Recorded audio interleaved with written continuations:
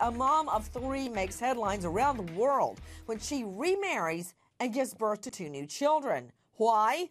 Because she marries a 14 year old boy, 14 when their love started. The kid is her son's best friend.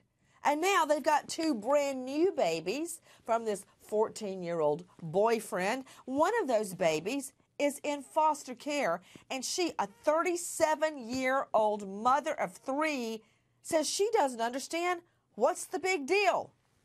We are taking your calls. I want to go out to Nanette Sosa, reporter with All News, joining me. Nanette, what happened? This is a couple who they started this relationship with just because she said he put her on a pedestal, and there's wait, just wait, no wait. other. Nanette, Nanette.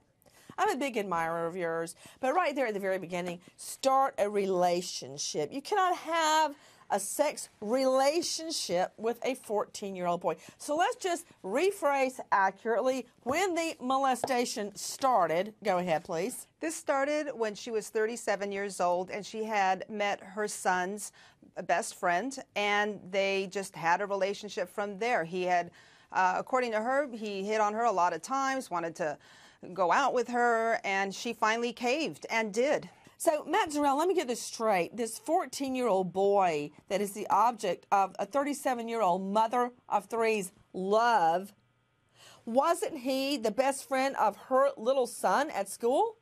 Yes, Nancy, they were in ninth grade together at the time that this molestation started.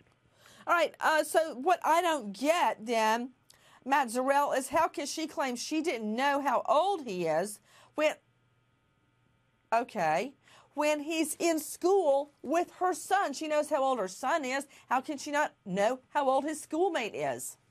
Nancy, we're still trying to work that out. In fact, it was the, the teen's grandmother who actually informed Clark that the boy was actually 14 and not 17.